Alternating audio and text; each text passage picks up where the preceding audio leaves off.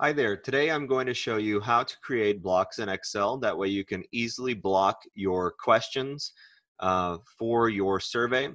It's nice to have blocks. That way you keep all the same questions all together.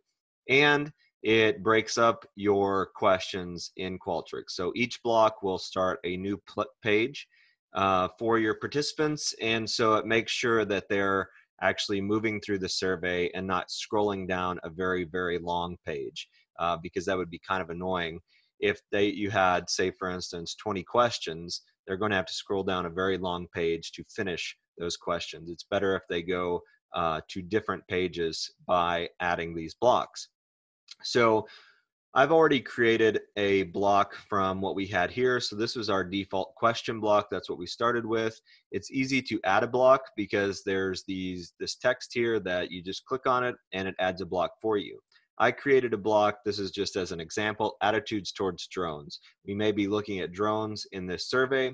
And the last block that you're going to need to have in your survey is your demographic questions. So your survey will end with those demographic questions. Make sure that you end your survey with your demographic questions. So here, I'm just going to type demographics.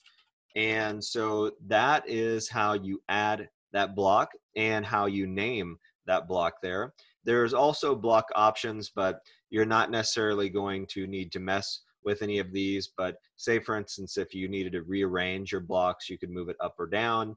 And um, you could also do a couple of other things here. But I think that uh, as a basics, we just need to know how to add blocks and name those blocks. That's way it's easier for us to um, move through the survey and easier for our participants to move through that survey.